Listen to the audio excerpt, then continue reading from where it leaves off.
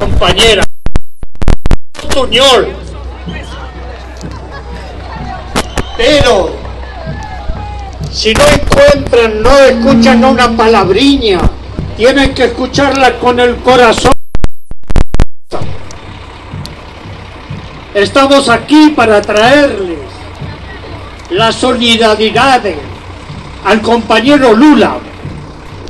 Queremos que Lula sea libre y presidente de Brasil. Hay una gran preocupación en todo el mundo de la prisión de Lula injusta, inmoral. Queremos reclamar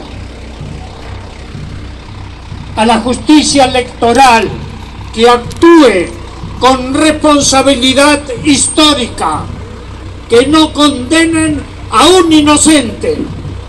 Lula está preso porque le tienen miedo. Le tienen miedo a la reforma agraria. Le tienen miedo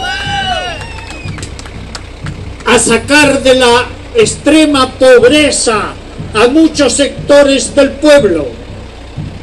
Le tienen miedo a la libertad, al derecho del pueblo a ser protagonista y constructor de su propia vida y de su propia historia.